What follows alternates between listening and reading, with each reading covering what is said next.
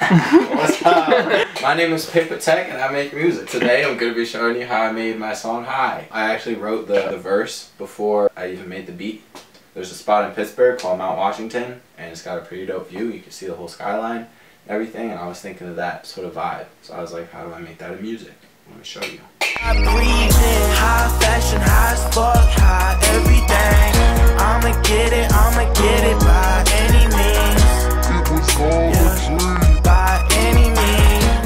Started off with some, uh,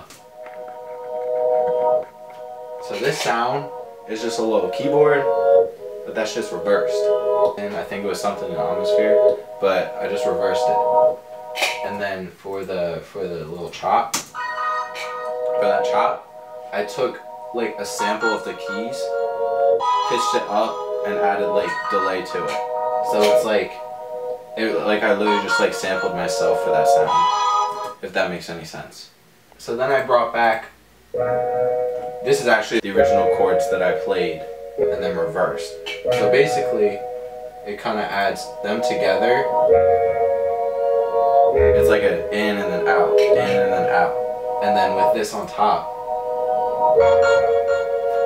it kind of create, this is like the basic sound and it all comes from just one keyboard. Next, I added some drums and uh, I wanted to make something trippy, like I didn't want it to be like, like you know, basic ass trap drums. The one thing I did that I think may have thrown some people off was put the snare, put it like off beat, like I'll show you.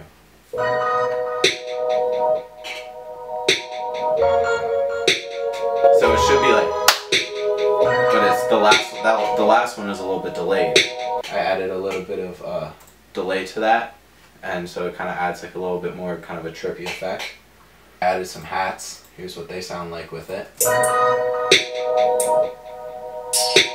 They're kind of like they're kind of like trickly, you know. If that makes sense, it's, it's kind of like like rain falling. I don't know. That's what I thought of. So like that that basically was enough for me to be like, okay, these lyrics work with this beat and I rapped along with it and I was like, that works. Like it doesn't need anything else for it to work.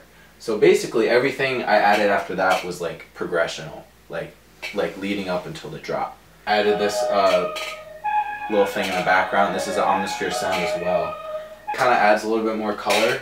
So like at this point, all the all like the the instruments have this kind of like full trippy sound and and I really thought and like that really reminded me of Mount Washington like it kind of reminded me of like a late night uh just like like like I don't want to say vibe because that sounds generic but, I added it's very subtle but it's just it just adds a little bit more color in there. That comes in when the when the when the vocals come in and the drums come in. Then I added the piano. It's just like the chords that I was playing up above.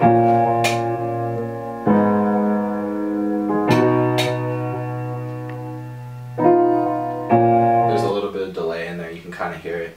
When it's kind of there's like a lot of like high pitch it's like oh like like you feel it now like like it's like it's like like it's got body now like it's got warmth and yeah i think it really works after that then i added this guitar and um this guitar i can't really play guitar um so it's not a real guitar but i threw a bunch of amps on it and it started to sound like a real guitar. It, it literally was a synth bass from Omnisphere, like it wasn't even a guitar preset.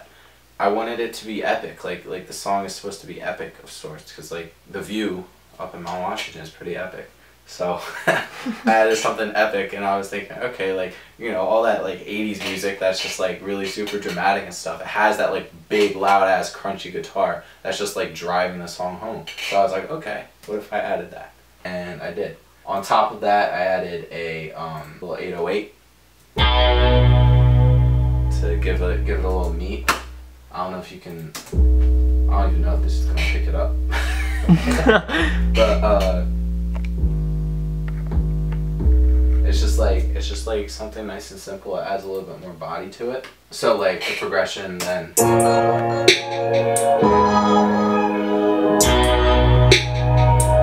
Then the drop comes nothing really gets changed except for the drums.